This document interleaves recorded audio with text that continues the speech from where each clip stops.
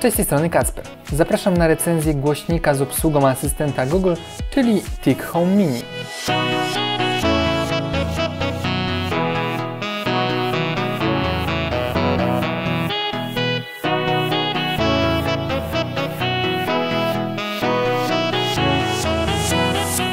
Zacznijmy od obudowy. TIC Home Mini jest świetnie wykonanym głośnikiem, chociaż co prawda w większości jest to tworzywo sztuczne, ale wysokiej jakości, szczególnie za sprawą tego, że jest ono takie lekko gumowane. Dzięki temu urządzenie nie ślizga się po powierzchni i stoi bardzo stabilnie. Jedyną wadą tego urządzenia jest to, że niestety bardzo łatwo to tworzywo zbiera odciski palców, na szczęście całkiem łatwo można je usunąć. Oprócz gumowanego tworzywa sztucznego mamy jeszcze obramówkę z metalu, która jest umieszczona w górnej części urządzenia. Warto też powiedzieć, że obudowa tego głośnika jest wodoszczelna, co potwierdza certyfikat IPX6. Oznacza więc to, że nie tylko przypadkowe zachlapania, ale również słuchanie muzyki podczas deszczu czy nawet pod prysznicem nie powinno uszkodzić urządzenia. Omawiając już poszczególne elementy obudowy, tak naprawdę najwięcej dzieje się od góry. Znajdziemy tutaj bowiem aż cztery klawisze, które pozwalają zmieniać głośność, oprócz tego na przykład włączać lub wyłączać zarówno urządzenie, jak i same mikrofony, Poza tym mamy jeszcze klawisz do zatrzymywania np. muzyki, odbierania połączeń, czy chociażby wywoływania właśnie asystenta Google. Oprócz tego pomiędzy tymi klawiszami mamy jeszcze cztery kolorowe diody, które informują np. o stanie naładowania akumulatora, o głośności oraz gotowości do działania i nasłuchiwania komend przez mikrofony. Jak już o tym wspomniałem, to warto powiedzieć, że od góry są umieszczone dwa mikrofony służące właśnie do nasłuchiwania komend głosowych. Oprócz tego mogą też rejestrować dźwięki podczas rozmów telefonicznych, jeśli połączymy już głośnik ze smartfonem. Jeśli chodzi o ich działanie, to są na pewno bardzo czułe i reagują na chociażby słowa OK Google nawet z drugiego końca pokoju, dzięki czemu nie musimy podchodzić do niego, żeby wywoływać jakieś wcześniej zdefiniowane akcje. Omawiając jeszcze inne elementy obudowy, to bardziej od tyłu znajdziemy złącze mikro USB do ładowania urządzenia, Oprócz tego jest pasek do przenoszenia go, który jest wykonany tutaj ze skóry. Od spodu znajdziemy jeszcze logo producenta, mamy kilka znaków i symboli towarowych, a oprócz tego wokół całej obudowy są dziurki, z których wydobywa się po prostu głos, a także muzyka. TIC Home Mini tak naprawdę trzeba połączyć dwukrotnie, żeby w pełni korzystać z jego możliwości. Pierwsza konfiguracja jest jednorazowa, i polega na dodaniu głośnika w aplikacji Google Home. Sprzęt jest tam zapamiętywany i od razu widoczny z poziomu wszystkich urządzeń, na których jesteśmy zalogowani do konta Google. Po skonfigurowaniu TIC Home Mini z aplikacją Google Home na głośnik przenoszone są informacje na temat połączonych kont np. w Spotify, dostępnych innych urządzeń, którymi możemy sterować, a także hasło do routera, żeby mógł ten głośnik samodzielnie działać korzystając z internetu. Ważną rzeczą jest bowiem to, że nie musimy cały czas mieć połączonego smartfona z tym głośnikiem, żeby rozpoznawał jakieś komendy głosowe. Wystarczy nam w zupełności dostęp do internetu. Druga konfiguracja jest w przypadku, gdy chcemy korzystać z tego głośnika jako urządzenia do odtwarzania muzyki. W tym przypadku również mamy dwie możliwości łączenia. Pierwsza z nich to przyłożenie telefonu z NFC do górnej pokrywy głośnika. Wtedy po chwili zostanie nawiązane połączenie. Drugim sposobem jest ręczne wywołanie połączenia w ustawieniach Bluetooth w naszym smartfonie. Warto tutaj na pewno dodać, że zmieniając smartfony, z których korzystamy, każdorazowo trzeba łączyć je z nowym telefonem.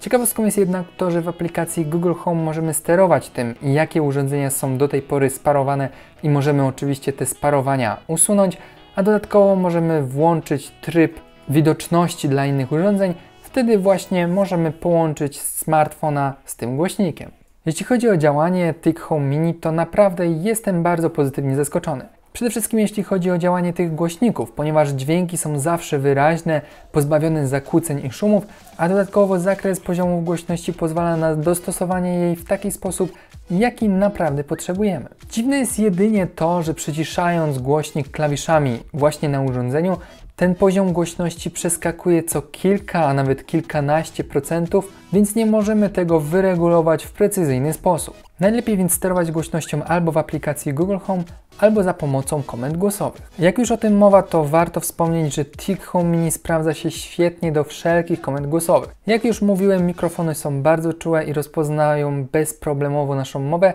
co bardzo ułatwia korzystanie z tego głośnika. Oczywiście TIC Home Mini świetnie łączy się z innymi urządzeniami dodanymi w aplikacji Google Home, można więc uruchomić chociażby jakieś urządzenia podłączone do gniazdka chociażby takiego jak AlphaWise, który ostatnio testowałem.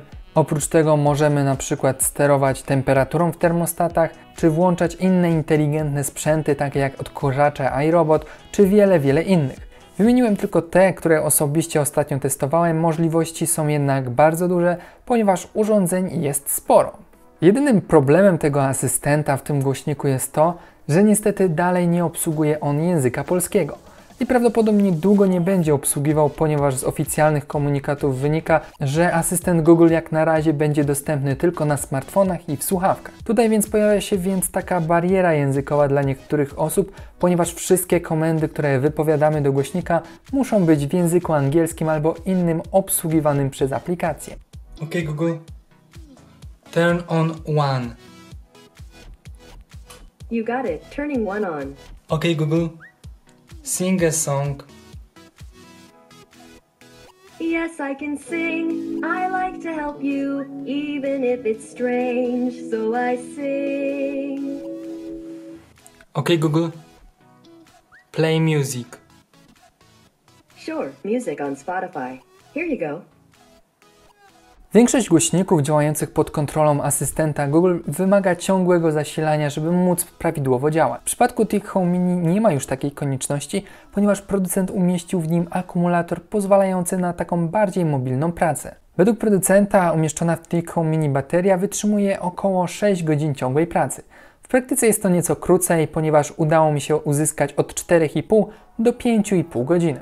Wszystko oczywiście zależy jak głośno ustawione są multimedia odtwarzane przez ten głośnik. Oczywiście ten czas troszeczkę się też wydłuży w przypadku, gdy nie będziemy cały czas odtwarzać muzyki, a tylko głośnik będzie nasłuchiwał komend głosowych.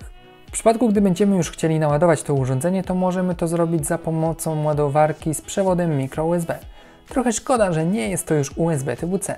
Jak już wspominałem, złącze do podłączenia tej ładowarki jest umieszczone w tylnej części obudowy. Podsumowując, TIC Home Mini aktualnie kosztuje około 340 zł. Cena jak dla mnie jest w 100% adekwatna do możliwości, ponieważ jest to sprzęt grający muzykę bardzo dobrze, ze sporym zakresem regulacji głośności, a do tego mamy jeszcze świetnie działający asystent Google. Oprócz tego TIC Home Mini jest świetnie wyglądającym urządzeniem, który wygląda ładnie i minimalistycznie, Dodatkowo jest wykonany z wysokiej jakości materiałów. Mamy też certyfikat wodoszczelności. Nie sposób też zapomnieć o tym, że mamy tutaj całkiem wydajny akumulator zwiększający możliwości przenoszenia tego urządzenia. Na tle innych urządzeń właśnie z asystentem Google pod tym względem TIC Home Mini wypada bardzo pozytywnie. Jedyną wadą tego głośnika, zresztą jak każdego z asystentem Google w Polsce jest to, że niestety te komendy głosowe jeszcze nie są rozpoznawane w języku polskim. Mam nadzieję, że kiedyś w końcu to się zmieni, aczkolwiek aktualnie wszystkie komendy głosowe musimy wypowiadać w językach obcych, na przykład po angielsku. Mimo wszystko uważam, że TIC Home Mini jest świetnym sprzętem, całkowicie wartym uwagi i godnym polecenia. Osobiście tylko czekam, aż ten asystent Google zacznie rozpoznawać język polski również w głośniku, Wtedy już będzie całkowicie idealnie. Dajcie znać w komentarzach, co Wy myślicie o TIC Home Mini oraz innych tego typu głośnikach z asystentem Google. Nie zapomnijcie też zostawić łapki w górę oraz subskrypcji na kanale, a tymczasem ja się z Wami żegnam. Do zobaczenia w kolejnych materiałach. Cześć!